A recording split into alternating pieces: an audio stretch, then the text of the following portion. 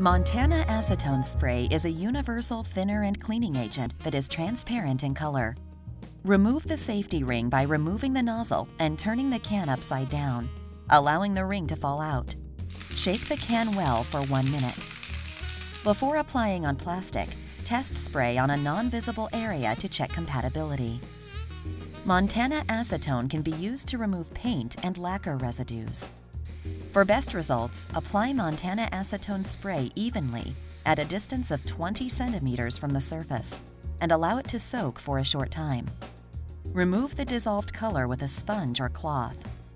The acetone spray is also perfect to clean used brushes, palette knives, and other tools. Use as a cap cleaner. Put the clogged or dirty spray nozzle on the Montana acetone spray can and press until no more color comes out of the nozzle. Alternatively, let the nozzles soak in acetone for a couple of hours. Also great to create aqua or dilution effects.